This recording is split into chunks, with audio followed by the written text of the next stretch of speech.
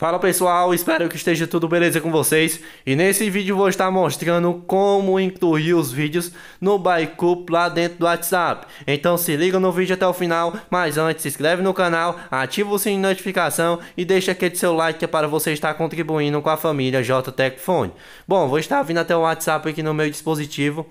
Logo em seguida, após você ter entrado aqui dentro do WhatsApp, vai estar vindo até as configurações que fica aqui em cima do lado direito superior